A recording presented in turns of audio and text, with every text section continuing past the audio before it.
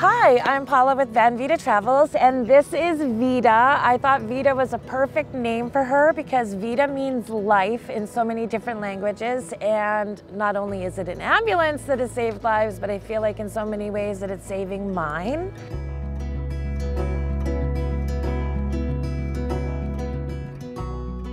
Okay, so this is at the front of the box. Um, this takes me straight into the cab. And that was something that was really important when I was looking to purchase a vehicle. Um, being a single female on the road, I wanted to do everything that I could to be safe. This is my air conditioning system. And then this stuff, there was a couple ways I've seen it done before. I've seen people with refrigerators here they could access from outside. But because I'm a girl and I didn't know what I needed for clothes, I turned this into a closet So, and I have like a ridiculous amount of room. And I overpacked, you know, being Canadian, coming from the cold. I thought maybe I need a little more stuff than I really needed. Um, all the top cabinets are really nice because we have the sliding doors and we can lift it. And because this is already built in, it's so easy. All I did was paint this black. Someday I might replace this and I just put some doorknobs on it. It was kind of fun. And then this is kind of like the beginning of my bathroom section. So in here, um, it is a locking cabinet, but I don't lock it. I just have the storage stuff I don't use much, but might need, like Band-Aids. um, and I took, there was a strip right across here. I took it off because there's so much extra space in the ambulance in behind all the cabinets. And I just put baskets here to store some more stuff. And then I decided to put this in here, and this is again coming from minus 47 Celsius. This is full of all my winter toques and mitts, wet wipes. and I have um, a little 12 volt shower head. So I use that system in here, which when I bought this, none of this was usable. It had a really low counter, another shelf up here, but on the other side, was all of the ambulance electrical, which I needed none of. And it was a big, huge panel. We pulled out 50 to 100 pounds of wire. So I use this for my bathroom. Um, and I have a composting toilet with the fan. The fan makes all the difference in the world. And I'm using peat moss. Do not use kitty litter. That is the most terrible stuff I've ever used in here. Coming across the border, I didn't know what I could take. So I did that, but I've changed it now. But some friends in Ehrenberg, when I first got here, actually rebuilt this, wired in the fan, did all the venting, so that was great. And then my shower, I just hang up here. All of this is just Coroplast, so it's super light, really inexpensive. Um, but we did put a a, a, doorknob and a handle on the inside because that was an exterior cabinet you couldn't get in and out. So we built that on there.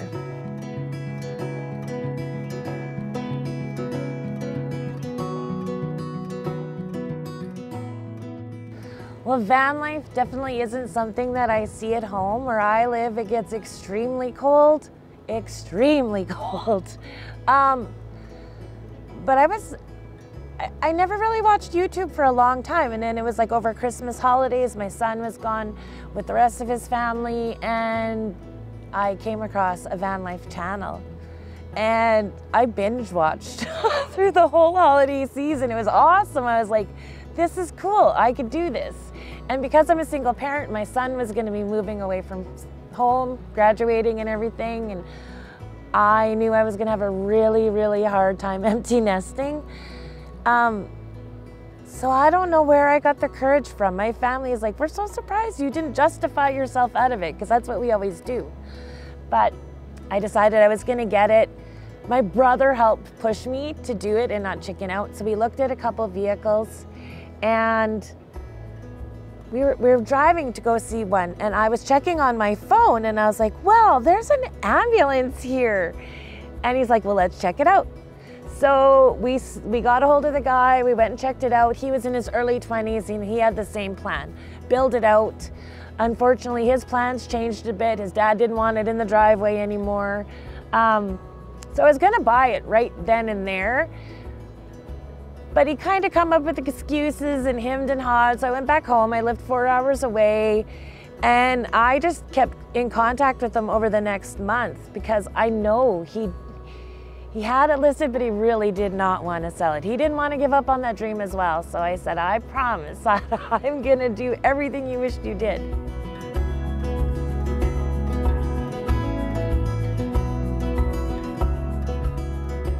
So this is my kitchen area and I have changed this several times. Um, I took out a shelf up here and the counters were really low, but I'm 5'8", so I really wanted to put them at a regular height. So initially I had a dresser in here and that kept sticking and it really wasn't effective. And then I was looking in my garage and I was like, why don't I put my workbench in here? Um, so yeah, so I took the pegboard out, lowered this, they're still connected. So I lowered this. All these drawers are really nice actually. They don't slide open when I'm driving. It's very convenient. Um, a friend of mine lowered this shelf so I could fit my little microwave in, which is only um, 700 watts. I wanted to make sure I used something that was really low power. I put a little sink in. I originally had a foot pump, a self-priming foot pump. That got damaged. Um, so I bought another 12 volt pump that I was going to put in, but because it was so cold at home, I thought I would wait. And in the meantime, probably the easiest thing I've ever done was just bought this um, 12 volt chargeable little water pump that just goes straight into my water underneath and it's super easy and when it's cold I can just take it out. I don't have to winterize anything. I don't have to worry about any of that.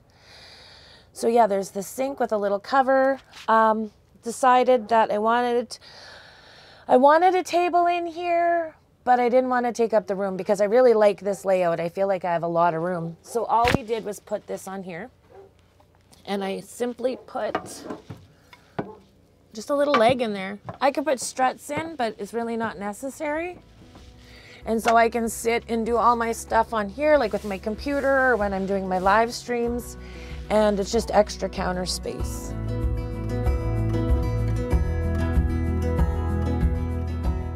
This is the biggest thing I've ever driven. I stopped an hour in and my legs were like jello. I was so nervous. I've never had a diesel. I've never had something so big. It was winter. Um, yeah, it kind of freaked me out. And I was like, oh my God, what did I do? But you just have to have a little bit of faith in yourself and just keep pushing a bit. And now I drove 3,000 kilometers to get here not even realizing most of it's going to be through mountains and I'm a prairie girl and I did it. And I am so proud of myself for doing it. Even the build I mean you only have a certain budget you only have certain tools but you find a way to make it work. I think if I really truly changed anything it would be I wished I really believed in myself first when I started this project I second guessed myself a lot and didn't do the first build the way I wanted. I was afraid to cut in the roof. I was afraid to do the wiring. And then I'm like, you know what, I can learn this. One of the perks about the ambulance was the cabinetry in here. And this is so solid, I could probably hang off it without worrying. So in here, I mean, because I have so much extra room. There's so much room in here. I couldn't fill everything. So I just lined up all my hats in here. This whole thing is like a library with used books. The ambulance was really great, especially being Canadian because it was already insulated, but I found it wasn't insulated as well as it could be. So I added tons of insulation on the roof and all around the sides. And then I just bought a panel board to put up there. I was like, this is easier. It's affordable. I think a sheet like this is like $60. So, I mean, it had the look that I wanted and I could actually install this myself without having a bunch of tools. so it worked really, really well for me. So under here is my entire electrical system. So I have my batteries, I have my 3000 watt inverter, and then I have a 12 volt bus bar in there. When I look through here, I when the inverter is on, I can see what I'm sitting at for um, how much power I'm using, but I can also see it off of here as well. Um, I've been out in the cold before and that really drains the batteries quickly. So when I'm only using my 12 volt power, I don't have any alarms going off to tell me that they're low. So this I think was, well, this was definitely under $20 and it's probably my favorite thing that I bought to make sure that everything is running well. Um, I do have shore power on the outside and that's connected to this outlet. I put this fan in and this one isn't your normal size. It's not the 14 by 14, it's a 12 by 12. But the bracing across the top wasn't the same distance when I got to the back. So this fit in perfectly. And so I just wired the light, which I really like. The fan, I wished I'd saved up for. I wished I saved up for a really good fan. This has one speed in or out, but it hardly moves at all. Like it really doesn't move much air. So definitely if I'm going to change something, it's going to be a much better fan. I built my bed to the same height as this because I kind of wanted it all to match, which gave me a lot less room underneath. So when I put my 12 volt fridge underneath, I had to find the lowest thing I could to slide it in and out. So this was easy. I didn't have to build anything. it's light, it works. And then I just keep my little fridge, it's 18 liters, plugged in underneath my bed, and that fits great. I have a little less room than you would think under here for one spot just because where I live is so incredibly cold that uh, I didn't want a lot of the small wiring going underneath the ambulance. So we put them under here, but I've got a a pipe that goes underneath that all the wires are fed through so that I can't bump it and break it or it gets cold, it kind of gets fragile. I don't have to worry about any of those issues that way. And then on this side, I just have like my laundry basket and stuff like that. The back half is where the water's stored and I access that from outside. So this I really like too. Again, the top ones all slide and have these little hinges. So, because the ambulance had so many shelves, I could just put them anywhere I wanted. So, this was like the perfect height for three rows of food. They all have the, the, the lip on the shelf, so nothing falls out at all. Yeah, and I didn't have to do anything. It just came like that. So it's exciting. And then I just have things like I have a tire inflator, I have my battery charger maintainer and stuff like that. I have all my dishes in here. And the bed is great. I'm 5'8", and when I lay down with my head right against the wall and my feet straight up here, I fit perfectly, but nobody sleeps like that. So I keep my extra blankets down here and I just tuck my feet in there.